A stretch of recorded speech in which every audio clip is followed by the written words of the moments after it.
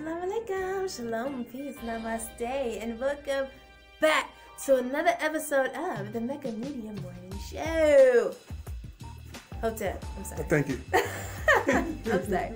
I gotta, I gotta used to saying it. Yeah, I thought you was used to saying it. I ain't used to saying it yet. I'm sorry. So what you got for me this morning? Listen, I got something for you for the um black coffee. I want to do something different with you this morning, though. Okay. I wanted to straight interview you about your music. Okay. Okay, now everybody know you're an artist and everything. Everybody know that uh, you sing, rap, dance in just one show. I don't dance. I can't dance. You can't dance? What do you mean? You got rhythm though, right? That's the best I got. Tell us about uh, your um, album that's coming out. When is it coming out? It's coming out February.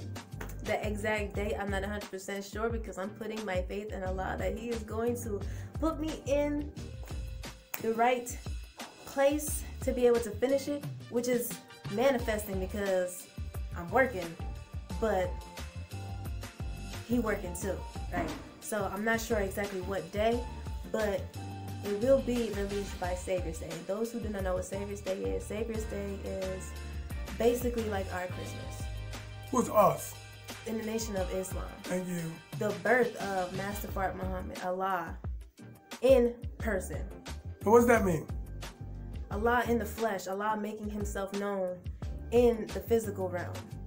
Allah in the flesh. So when I hear um, brothers and sisters saying Master Fard Muhammad, they're talking about God who walked the earth.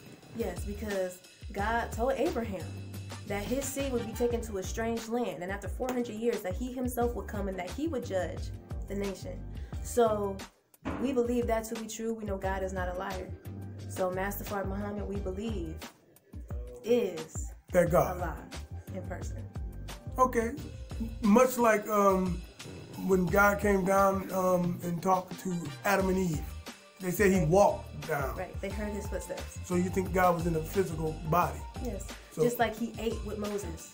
He wrote the commandments. He Enoch walked with him. God ain't no spook. God is God is physical. So so I'm about, I'm about to be I'm gonna play ignorant right now. Okay. So you telling me Master Fard Muhammad walked walked with Moses, or the Spirit of God comes into the physical bodies and represent at different times? Just like we was talking earlier about the DNA. Mm-hmm. It's the DNA. It's passed through. It's passed down in the bloodline. Okay. So just like I too am God. What? You are God. It's a bloodline. But Master Fard Muhammad is the supreme. Ye are all God's children of the Most High God. Because we are God's children. But there's also a supreme. Right? And that is who Master Muhammad is. He is that supreme being. He has control over the affairs of human beings. You could take that or you can leave it alone. Take that and let it alone. Period, point blank, dot. Period. So, the Nation of Islam has been instrumental in your life. Yes. Everything. I see you on your shirt. Let, let's, let, let's see the shirt there. Okay. I see you smuggling your whole face there. what, uh, but I see your face showing now. But you smuggling the whole face. All I see is eyes peeking at me and stuff. Why do you look like that there and not this now? Well, honestly, this was just this was just a picture that I was playing with. Like I was just I liked the way it looked and I took it and I liked it. And then I put it in black and white and I was like, oh, this is a nice picture. So then I just was like, oh. So you a Muslim, right? Yes. So you didn't- you didn't tell me you was thinking No. Islamic thoughts when you took that picture. No, because we don't we don't do this. This is not our culture. Whose culture is that? This is in the Middle East. This is war so that sand and stuff does not get in your face. Allah never told us to cover our whole face. Allah never told us to do that. And that is not our culture. That's called cultural wear over there. Right. You So know, people- just like the hijab is cultural. We wear our, our holy headpiece. We wear a headpiece. We wear a tam. We wear a scarf. Doesn't mean that we're less Muslim because we don't wear the whole the whole outfit. That's not our culture. We have a different culture. You're not going to go to Asia and see the same thing on a Muslim. You're not going to go to Russia and see the Russians wearing the same thing. They have their own culture. We have our own culture. What's our culture? What do you mean? What's our culture? Yeah, yeah. What's our culture as, African Americans? African Americans, I mean, black people have a culture in their, in their own sense, but in the Nation of Islam, I mean, when you see the brothers, you gonna see a bow tie. When you see the women, you're going to see a headpiece. You're going to see them covered all the way down. You're going, you might see a tam, you might see a scarf, but well, we're most known for the tam and the headpiece. Cause don't nobody really wear a tam, and don't nobody wear a headpiece. Black Panthers wear a tam. Because they call it a beret. It, it is kind of like a beret, but the way we make it is a little different. It's made differently than a beret. Okay, now, um, do you think um, a lot of our people need at least the teaching, or at least have heard or get familiar with the teachings of the most Honorable Elijah Muhammad? I do. I think that's a fact. That they need to? Yes, to Oh, be familiar definitely. with it. Most definitely. Give me the top three things that you believe that the most honorable Elijah Muhammad taught or is still teaching that you think is beneficial for our people. I mean, everything. Really. Top, give me all I need is three. how How you live? He was, he preceded Dr. Sebi. It was Dr. Sebi who got information from the most honorable Elijah Muhammad. The most honorable Elijah Muhammad was the first to teach us how to eat. It's a book called How to Eat to Live now. How to Eat to Live, book one and book two.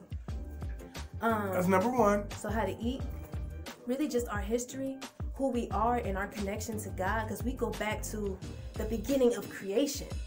That's how far back the black man and woman is. We are the original man and woman. That's two. True knowledge of self.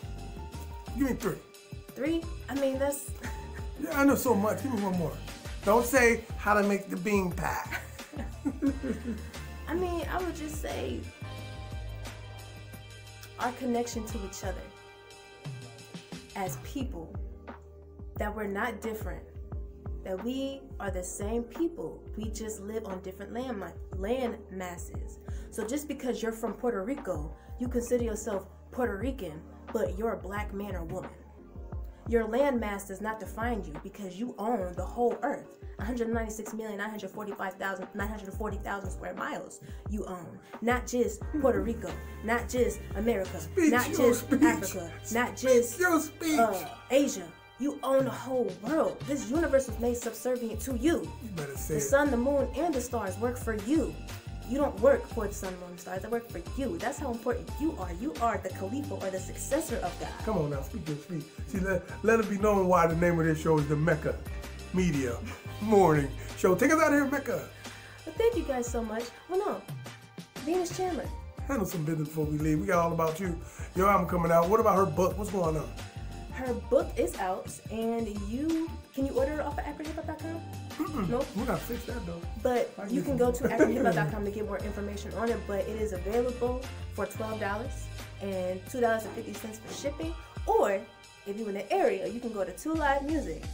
Not True Live. Not True Live, but Two Live. okay, and that's on Viota. Viotum. 330-869-2104 to call them before and make sure that they have it in stock. Yeah, call them and ask for directions. Wayne gave us the address last time. Already six. 1286 Yeah, good memory. Cause I'm like 1734. Oh Lord, we running numbers up in here. you would have been all the way up Roman Grove. Okay, thank you guys so much for tuning in to another episode of the Mecca Show. And until next time, be the peace.